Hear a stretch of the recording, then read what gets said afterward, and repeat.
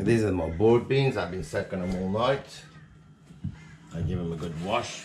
Put some sodium bicarbonate just to make them really soft. These things are dried super, super dry. Wash them really good.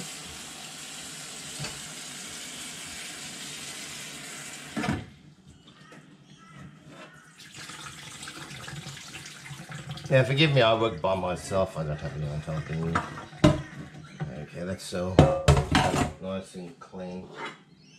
Get your pressure cooker.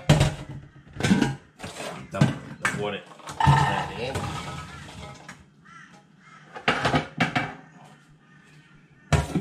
Yeah. What we do is we add water.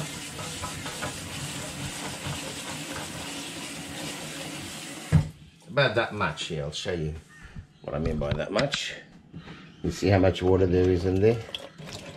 You don't want too much water in a pressure cooker. You also got to be careful if, you, if, a pressure cooker dries up, it, it falls. Now what we do with our pressure cooker is we put the lid on and uh,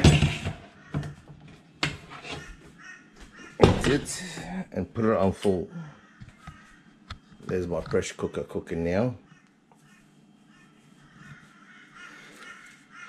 This will take about probably half an hour to cook up. This is a very big pressure cooker. I got another very big one up there. I've even got a huge pressure cooker because I used to cook for the markets. I also had a shop many years ago up in Raymond Terrace in um, Newcastle. Uh, pl please like and subscribe.